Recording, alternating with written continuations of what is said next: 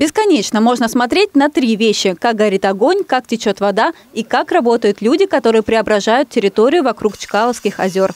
Работы здесь начались в прошлом году. На первом этапе позаботились о базовых вещах. Укрепили береговую линию, смонтировали освещение, обустроили пешеходные дорожки и полосу для велосипедистов.